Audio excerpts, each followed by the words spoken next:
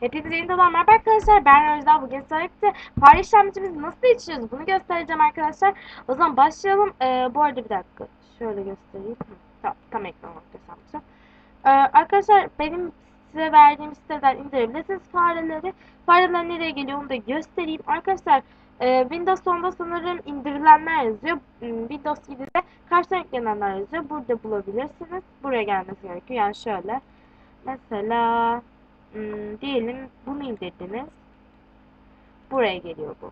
Evet şimdi.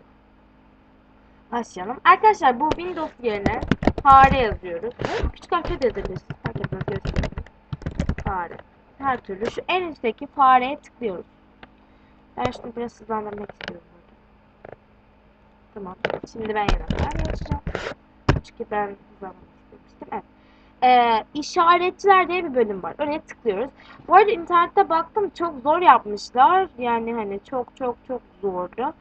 Baktım ki e, hani program falan indiriyorlar. Ben dedim programa gerek yok ben göstereyim elinize.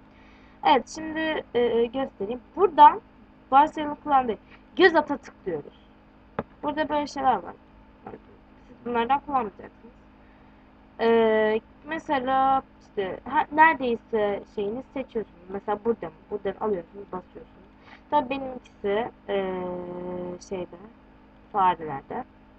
Ben bunu kullanmak istiyorum diyelim mesela. Evet. Gördüğünüz gibi. Şimdi uygulama uygula diyorsunuz gördüğünüz gibi. Şimdi tamam diyorsunuz. Evet. Bakın farem çok tatlı oldu. Ee, bu arada kanalıma like atmayı unutmazsanız çok sevinirim. Ee, bir dahaki videoda görüşmek üzere. Hoşçakalın. Bay bay.